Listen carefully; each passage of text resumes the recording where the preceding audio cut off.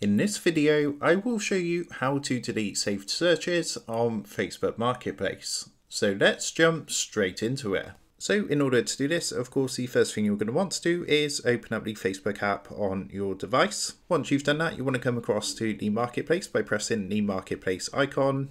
And from here, what you're going to want to do is press onto the magnifying glass to bring up your searches. And you can see we've got two options. We've got recent and saved searches.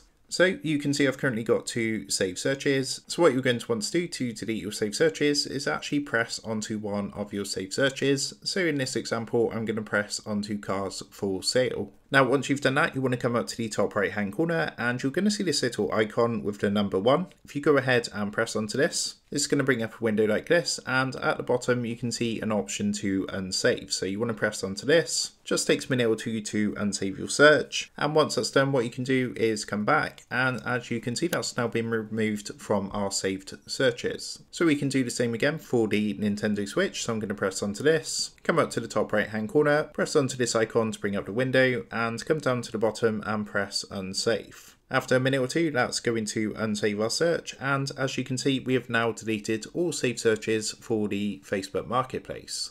So that is how to delete saved searches on Facebook Marketplace. With that being said, I hope this quick tutorial did help you out today. And if this did help you out, I would really appreciate it if you was to consider dropping down below the video, leaving a like, and also subscribing to the channel. With that being said, I just want to take a minute thank you guys for watching this quick tutorial, and I will see you in the next video.